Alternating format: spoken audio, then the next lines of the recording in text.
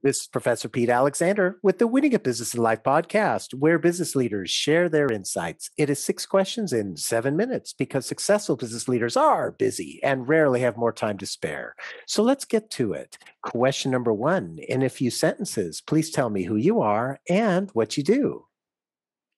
Yeah, hi, Pete. First of all, thanks for having me on your show. It's a real pleasurable honor. Uh, I'm Alexander Trost, originally from Germany, but living since more than two decades in Asia now, mostly in Singapore.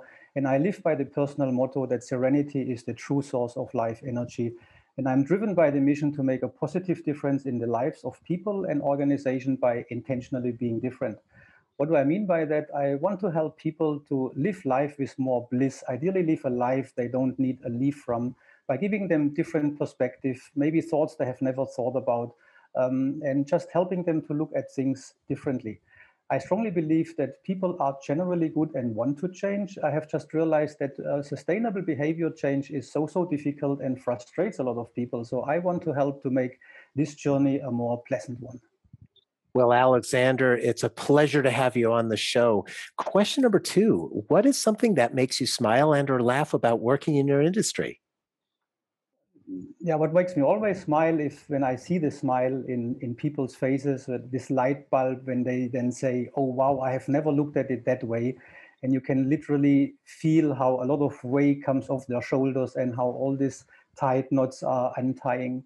Uh, what makes me laugh sometimes is when I see how serious people take themselves. Um, but I always try to help them by saying it's never about the situation, it's always about our reaction. And once we can look at situations with some more humor and maybe even laugh about ourselves, everything just becomes so much easier. Mm-hmm. And, I, and it, when people see that uh, you laugh at yourself, you become more approachable. Am I right? Yeah, definitely. It's great. Question number three I have a fictitious book with all the answers for business. What chapter would you think most companies should read? Yeah, great book, great question. And I listened in some of your podcasts before, and I think most of your guests go eventually to the people chapter. Um, and I shall be no different. I just maybe want to approach it a little bit different by starting with a quote from Simon Sinek, who says, um, um, you cannot understand business if you don't understand people. And I would actually go a step further and say, actually, there is no real business. Everything is about people because everything in your business is done by people. Every single business transaction is done by people. Even if it's um, automated, um, those systems are maintained by people. So I would say that there is no real leading business, but leading people is the serious business. And once as a leader, you make everything around people, your business will flourish, I would almost say automatically. And there are some other famous people who have um, nice fitting quotes, like, for instance, I think it was Theodore Roosevelt who said that people don't care how much you know until they know how much you care. Uh, or um, Sir Richard Branson saying, take care of your people and they will take care of your business. Those are both great quotes as well. I love them. Question number four Other than the generic work harder, have a great attitude, and care for customers, what advice or insight would you give to other business leaders? Uh, yeah, in line with what I said just now, I would first remind them that maybe you're not really a business leader, but a people leader. Yeah, so really make it all about the people. And then I might introduce in my um, my very own model the three C's of leadership, because I believe uh, at the end of the day, everything in leadership boils down to three roles, which I coined as the three C's: the character, the compass, and the coach. So I strongly believe as a leader, firstly, you have to work on your character much more than on your personality. Make sure that you have great core values, that you know about them, and that every day you bring you back to those values, what you stand for. Secondly, translate those values into guiding principles, principles that guide you, that make you congruent, and that you make you very authentic as a person. Secondly, be a compass rather than a navigation system. I think a lot of leaders tend to navigate people, to micromanage them, to tell them every single step, whereas a compass just just shows the direction and then lets people take their their own way. And only once they are lost, they might look at the compass again, how they are doing. And last but not least, be a coach. Uh, I think very often leaders think they have to have all the answers, they have to constantly give advice. But if you have a coaching mindset as a leader, I think you are much, much stronger, which means firstly, listen, listen with empathy, listen to really understand rather than to reply.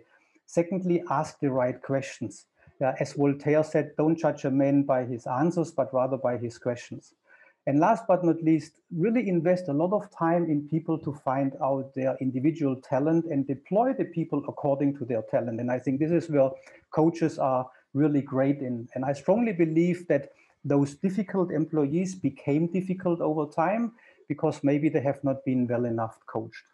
Mm-hmm. I think that's very insightful, and and that coaching mindset is so important than than so many managers who think that they have to be very directive to their to their people. But if they can coach them, they tend to support them st- more strongly and help those those people who work for them uh, learn on their own and be able to grow exponentially. Would you agree?